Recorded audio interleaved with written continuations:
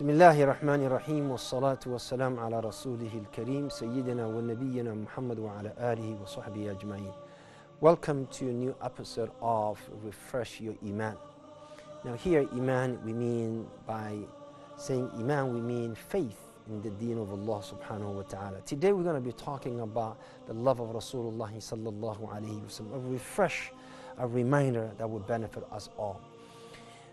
A lot of people they claim that they love Rasulullah sallallahu alaihi wasallam. They claim that they will give their lives for the love for Rasulullah and for the deen of Allah subhanahu wa ta'ala.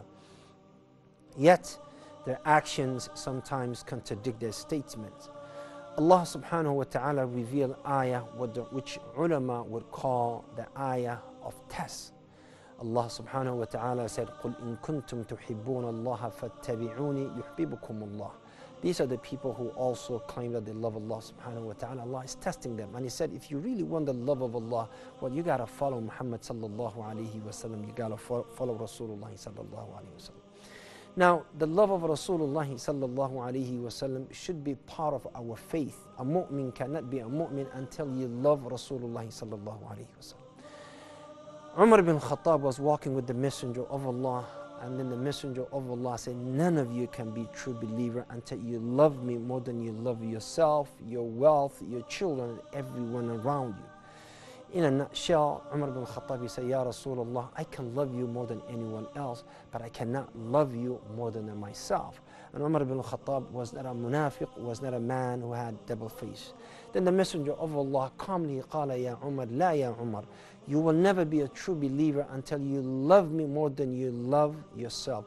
And then Umar ibn Khattab said, Al-ana ya Rasulullah, I love you more than I love myself. The point was that you cannot be a mu'min, you cannot be a true mu'min until you love Rasulullah sallallahu alayhi wasallam. And the love of Rasulullah sallallahu alayhi wasallam will guarantee you Jannah. Hadith Anas bin Malik radiyallahu anhu indicates this and illustrates this. Anas bin Malik radiallahu anhu said, a man came to the Messenger of Allah and he asked, Matta sa'a, O Messenger of Allah, when is the Qiyamah is going to be established? The Messenger of Allah sallallahu alayhi wasallam calmly responded, وَمَا أَعْدَدْتَ لِلسَّاعَةِ What did you prepare for the hour? What do you have? In another, in some narration, the man said, Ya Rasulullah, Wallahi, I don't have much of prayers. I don't have much of sadaqah. I don't have too much of sadaqah. I don't have none of that. وَلَكِنِّي however, I love Allah and His Messenger. Then the Messenger of Allah sallallahu alayhi wa sallam قال أنت مع من أحببت He said, you will be with those whom you love.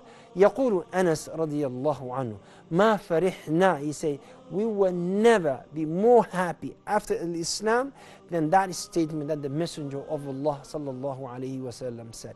Simply he said, فإني أحب رسول الله صلى الله عليه وسلم وأبو بكر وعمر وإن لم أعمل بعملهم he said simply because I love Rasulullah sallallahu alayhi wasallam I love Abu Bakr as-Siddiq I love Umar bin Khattab though I did not do their deeds which means I didn't do what they did but the messenger of Allah because the messenger of Allah said you will be resurrected with those whom you love then I am so pleased and happy with that so as a mu'min we must love Rasulullah sallallahu alayhi wasallam more than anyone else.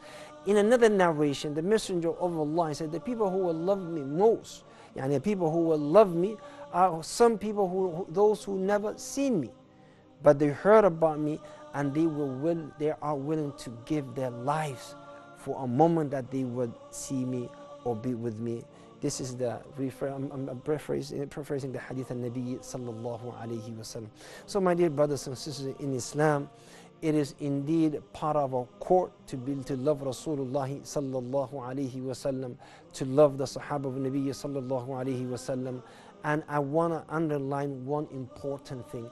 Love of Rasulullah is not a statement that we say, is indeed action that we follow through. Now, if you love Rasulullah sallallahu alaihi wasallam, you will love his sunnah.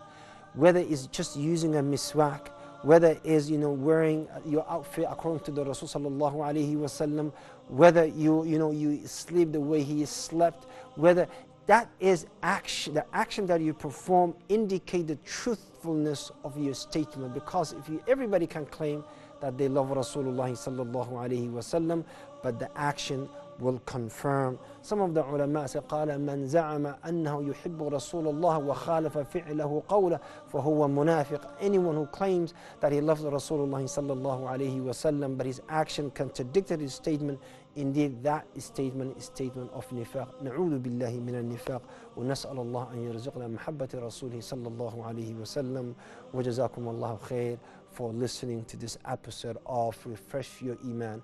Wassalamu alaikum wa rahmatullahi wa barakatuh.